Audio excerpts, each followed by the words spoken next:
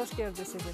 Həkim iş olaraq yenə də bir-birindən maraqlı mövzular və çox güvəndiyimiz həkim mütəxəssislərimiz, onların faydalı məsləhətləri, tövsiyələri ilə qarşınızda olacaq. Diqqətiniz bizdə olsun, proqramımız sizin üçün canlı yayımlanır. Suallarınız olarsa, əgər mövzularımızla bağlı həkim alt xət işi Instagram səhifəmiz sizin üçün aktivdir. Beləliklə həmişə olduğu kimi sponsorumuza təşəkkürlə proqramımıza başlamaq istəyirəm. Sponsorumuz Dünyagöz Bakı xəstəxanasıdır. Fəaliyyətinə 1996-cı ildə başlamış Dünyagöz Xəstəxanalar qrupu ən müasir texnologiyaların köməyi ilə gözlə bağlı bütün istiqamətlərdə yüzlərlə müalicə üsullarını tətbiq edir. 100 minlərlə xəstənin göz sağlamlığına qovuşmasını təmin edən Dünyagöz Xəstəxanası 2017-ci ildən artıq Bakıda da açıldı. Dünyagöz Bakının müasir texnologiya ilə təchiz olunmuş binasında miyopiya, hipermetropiya, və astigmatizm müalicəsində istifadə edilən təkmilləşmiş lazer texnologiyaları, yeni texnoloji məhsul olan ağıllı göz içi linzaların tətbiq edildiyi katarakta əməliyyatları, mikrocərrahiyyə təcrübəsini tələb edən korneya xəstəliklərinin müalicəsi, diabetlə əlaqəli göz xəstəliklərinin müalicəsi, retina xəstəlikləri, göz nevrologiyası, göz ətrafı estetik əməliyyatları, qlaukoma və üveytin müalicəsinə qədər böyük və uşaq göz sağlamlığına dair bütün sahələrdə göz sağlamlığı xidmətləri göstərir. Dünyagöz Bakı xəstəxanası ilə əlaqə saxlamaq üçün 012 404 44 69 nömrəsinə zəng edə bilərsiniz.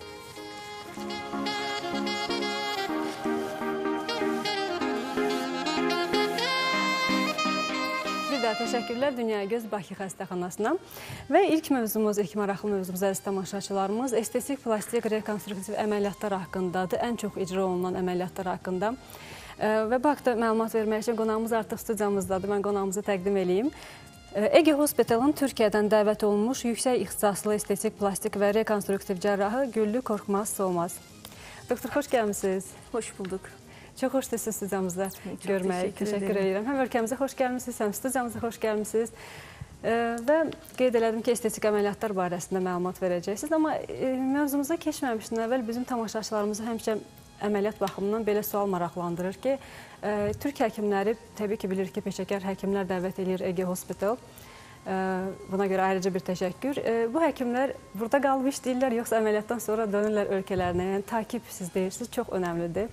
Bunu istəyirdim cevaplandırardınız ilk Ee, yok ameliyatları yapıp ülkemize geri dönmüyoruz. Hı hı. Ee, 7 gün 24 saat Ege Hospital'da hizmetimiz, takibimiz, tedavilerimiz devam etmektedir. Hastalarımız bu anlamda iç huzuruyla hastanemize başvuruda bulunabilirler.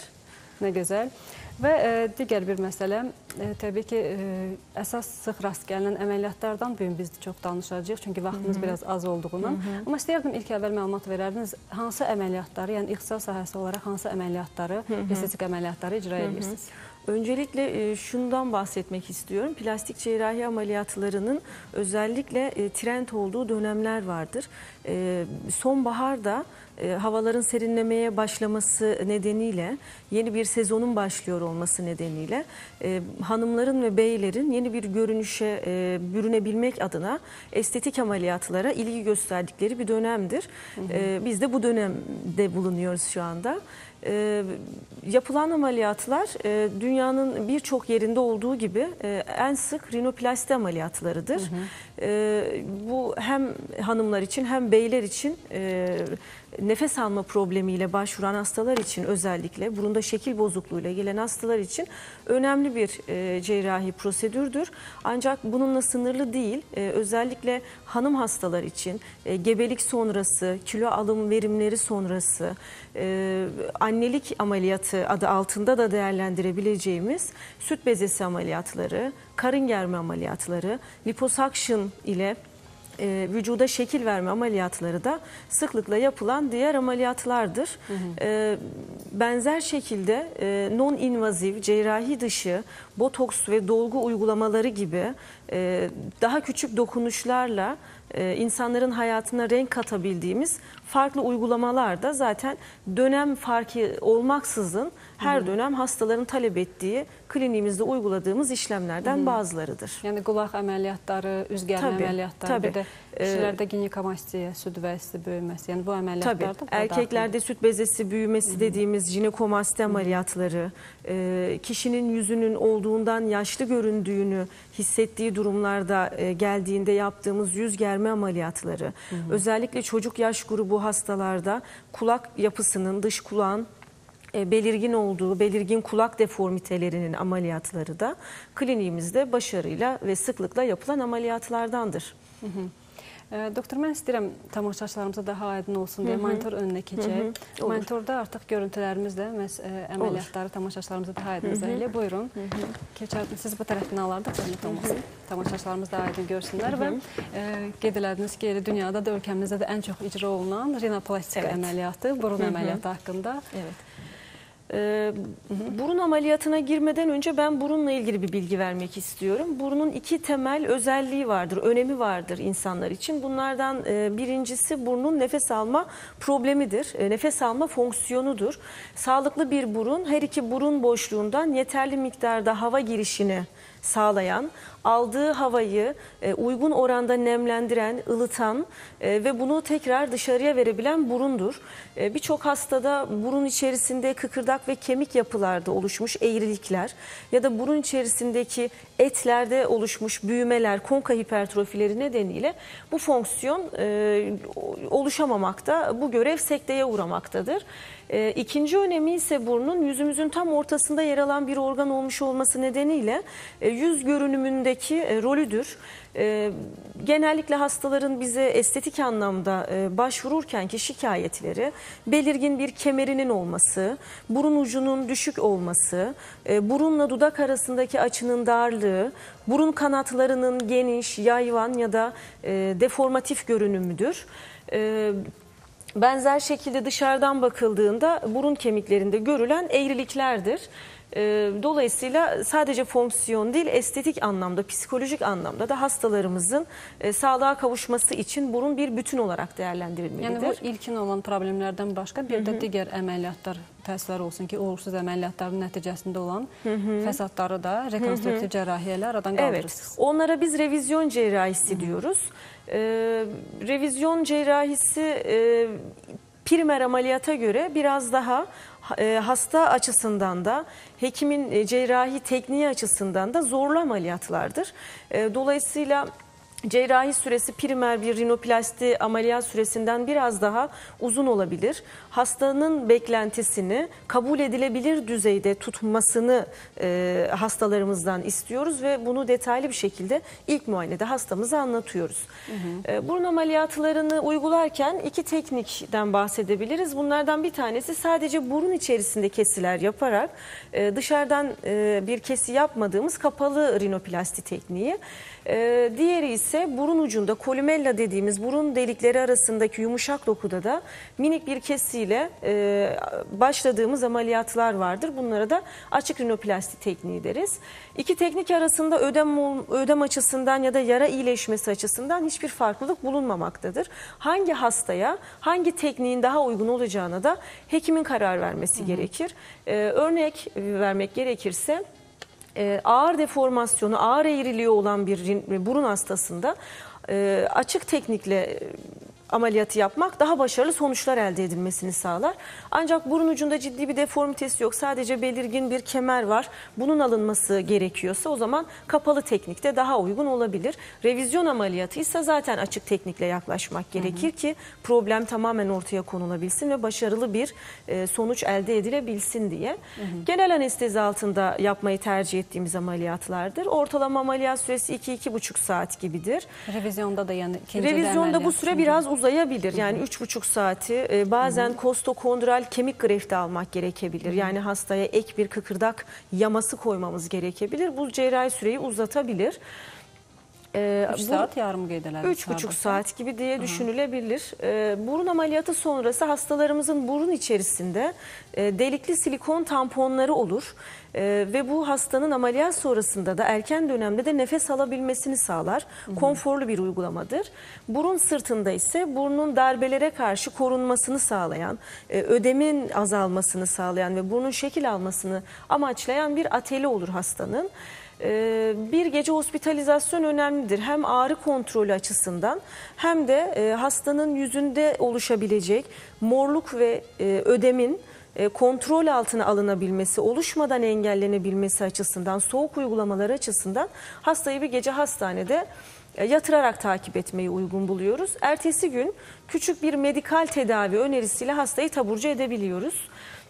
E, ve hastanın ilk kontrol muayenesini e, yaklaşık bir hafta e, sonunda gerçekleştiriyoruz. Hem burun içindeki tamponları alıp hem de burun alçısını çıkarıyoruz. Ve onun yerine e, bantlarla e, burnun yine korunması amacıyla ek bir uygulama gerçekleştiriyoruz. Bir həm birincili, həm e, revizyon e, əməliyyatlarda Evet. 7 gündən sonra gips çıxarılır. Evet. Amma o bantlar neçə gündən sonra çıxarılır? Bantlar şöyle, hastanın eğer burundaki ödemi e, çözülmeye başlamış, burun alçısı zaten gevşemeye başlamış, hareket etmiş e, hale geldiyse o zaman burun alçısını daha kısa süre tutabiliriz. Ya da bantları, filasterleri daha kısa zamanda alabiliriz. Ama alçıyı çıkardığımızda burun hala çok ciddi şekilde ödemliyse, ödem inmediyse o zaman. o zaman bantları daha uzun tutmak gerekir. Bazen nadir de olsa ikinci kez al- alçı uyguladığımız bir 5-7 gün kadar ikinci kez alçıyı tuttuğumuz hastalar da olur.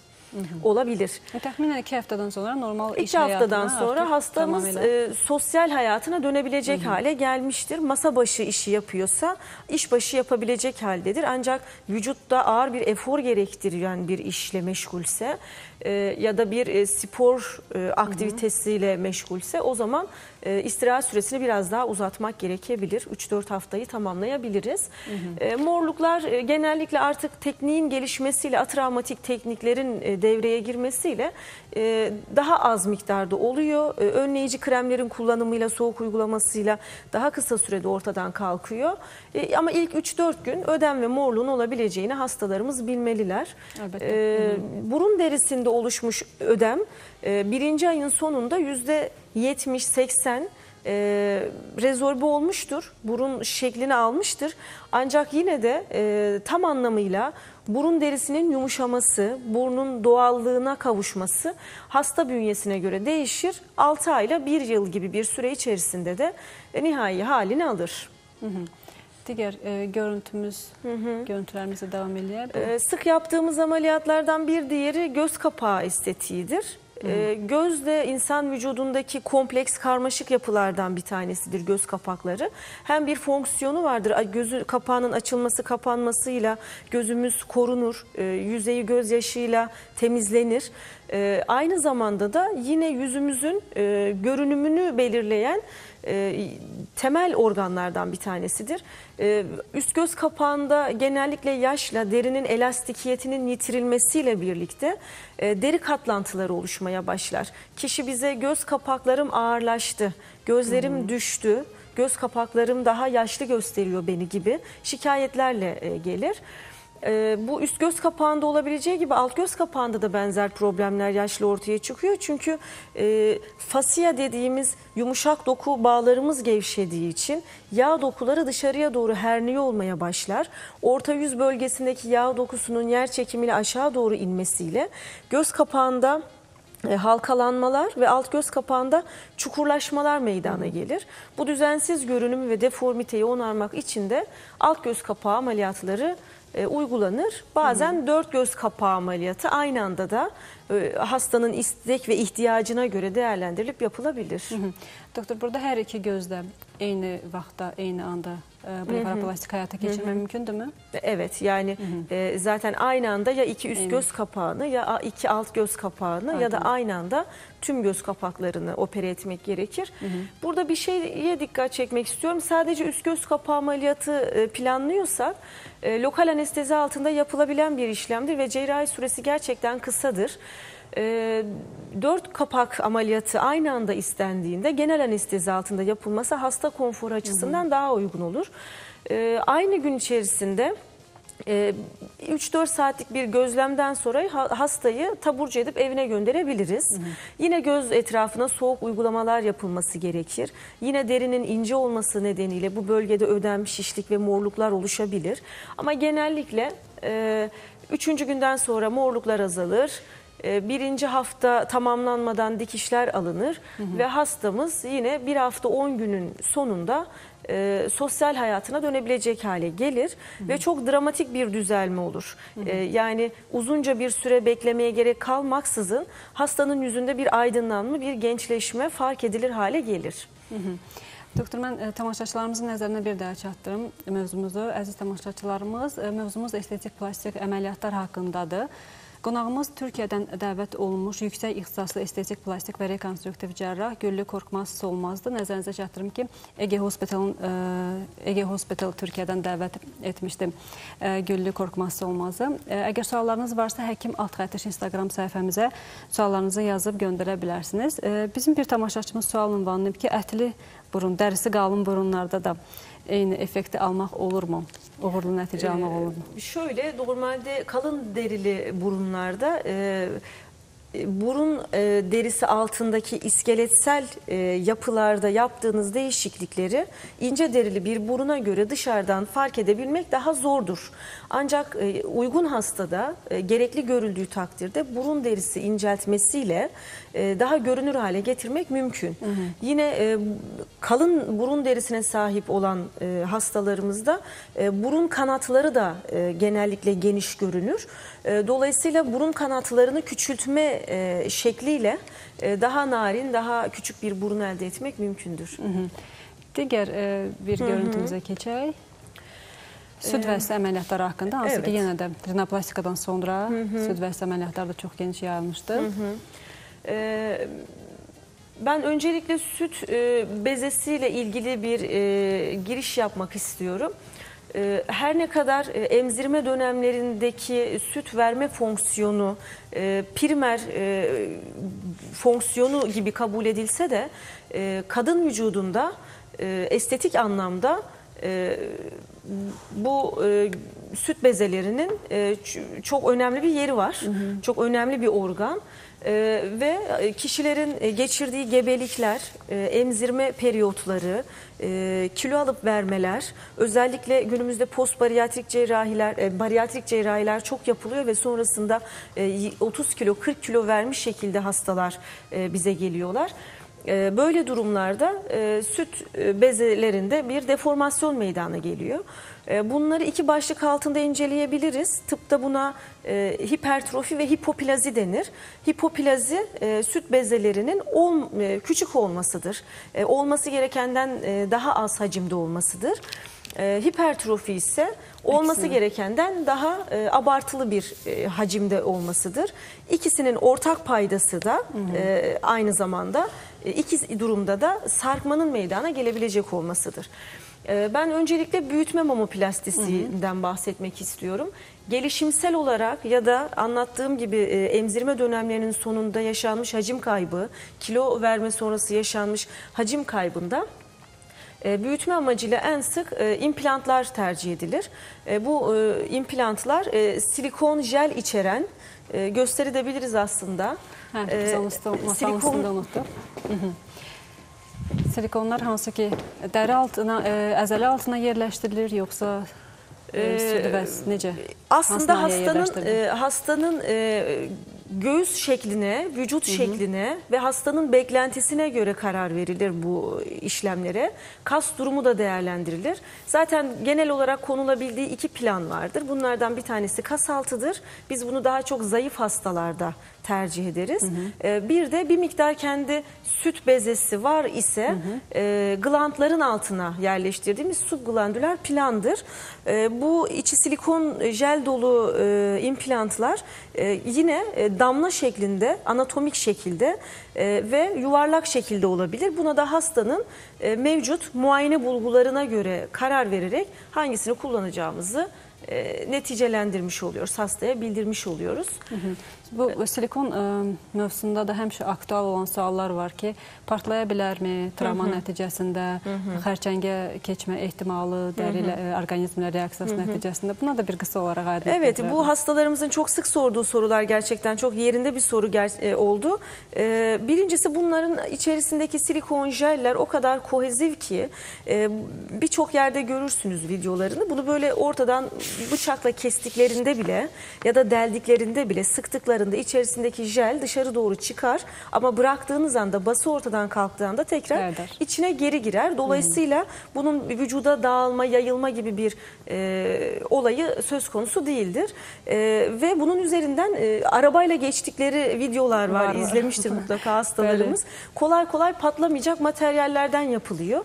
E, ilk e, jenerasyon e, meme protezleri e, salin içeriyordu. Yani serum fizyolojik içeriyordu ve darbelere karşı korunaksızdı. O yüzden e, belki bir 15-20 yıl önce e, işte patlayan meme protezleri e, basına da yansıyordu ama artık böyle şeyler çok nadir görülüyor.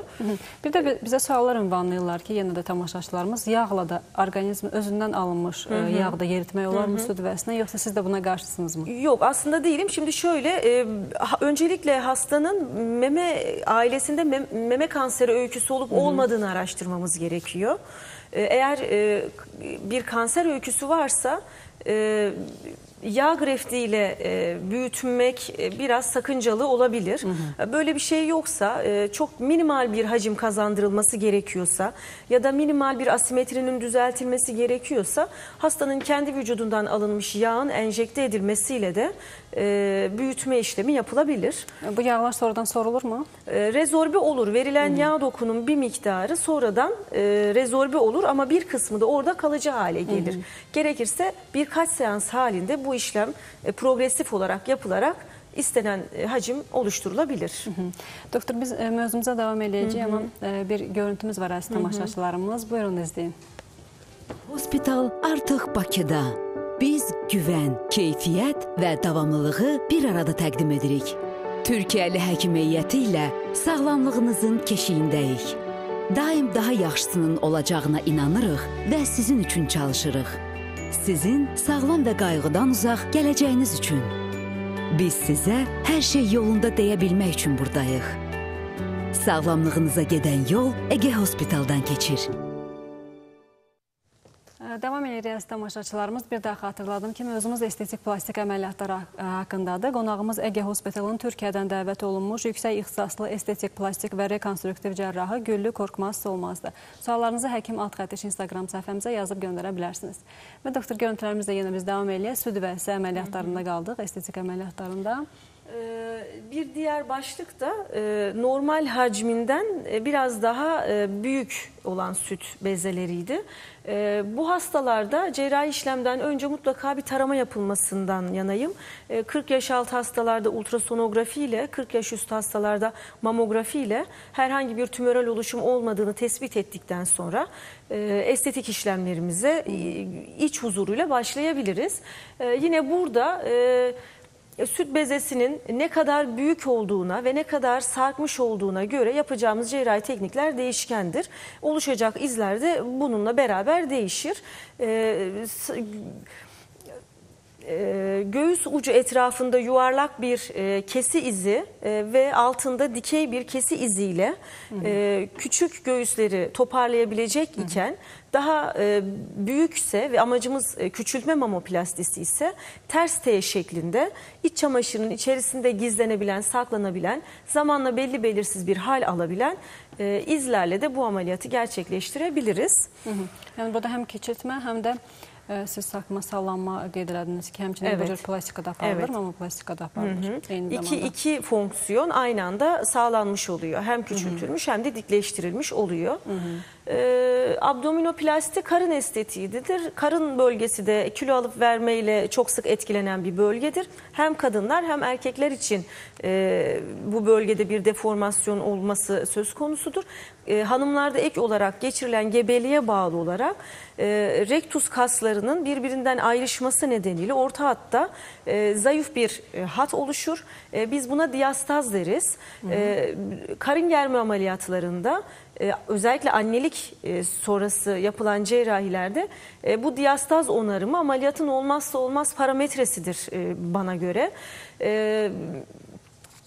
Sarkmış ve yağlanmış deri deri altı dokusu, elastikiyetini kaybetmiş, çatlaklar oluşmuş bir kalitesiz cilt e, spor yapmakla ya da diyet yapmakla e, çok da toparlanmıyor açıkçası. E, dolayısıyla e, gerdirme ameliyatıyla bu e, kötü kalitedeki deri deri altı dokuyu uzaklaştırmak gerekiyor. E, eğer diastazı yoksa hastanın mini karın germe ile sezeryan izinden e, biraz daha e, uzun bir kesi iziyle bu işlemi gerçekleştirebiliriz.